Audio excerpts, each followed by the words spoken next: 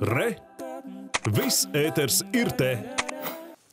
Atbalstu Ukrainas dalībā Eiropas Savienībā, kā arī skaidru jāvārdu Somijas un Zviedrijas dalībai NATO šodien Rīgā pauda Grieķijas prezidenta Katerina Sakela Ropula.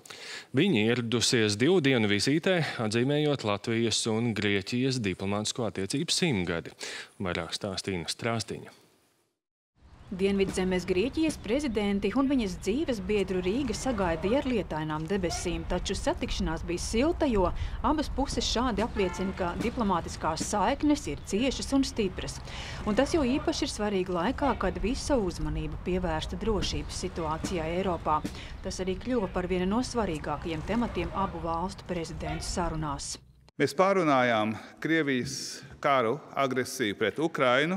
Gan Grieķija, gan Latvija ir uzņēmusi Ukrainas bēgļus, un e, mēs darām visu iespējamo, lai palīdzētu Ukrainai. Latvija ir e, viena no tām valstīm, kas e, palīdz Ukrainai gan militāri, gan politiski, gan ekonomiski, un mēs arī turpināsim šo palīdzību. Lai arī Grieķijas politiskās un vēsturiskās attiecības ar Krieviju āleži ir bijušas tuvas, Grieķija, būdama ar lielu pieredzi NATO un Eiropas Savienībā, atbalsta Ukrainu cīņā pret agresoru. To Grieķijas prezidenti apliecināja arī preses konferencē.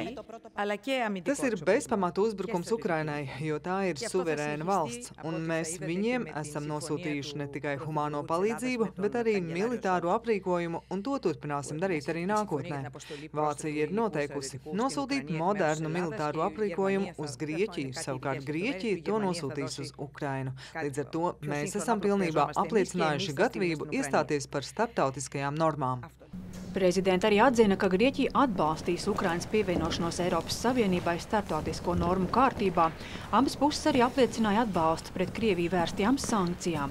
Grieķijas prezidenta arī uzsvēra, ka atbalsta Somijas un Zviedrijas pievienošanos NATO, pret ko iebilst tās kaimiņu valsts Turcija. Vizītes laikā Grieķijas prezidenta arī vērs uzmanību uz aizvien saspīlētajām attiecībām ar Turciju Ziemeļkīpras jautājumā. Pēc preses konferences sekoja svinīgā zieda nolikšanas ceremonija pie brīvības pieminekļa, bet rīt Grieķijas prezidentas vizīte Rīgā turpināsies un plānot tikšanās ar premjeru un citām amatpersonām NATO strateģiskās komunikācijas izslības centra vadību būs arī kultūras programma Latvijas Nacionālajā mākslas un arī okupācijas muzejā būs grāmatas dāvinājums Nacionālajā bibliotekā un mākslas centrā NOAS atklās izstādi par godu abu valstu diplomātisko attiecību simtgadēji. Īna Strasdiņa, Gins Amoliņš, Ivans Milovs, Aigars Kovaļevskis, Latvijas televīzijā.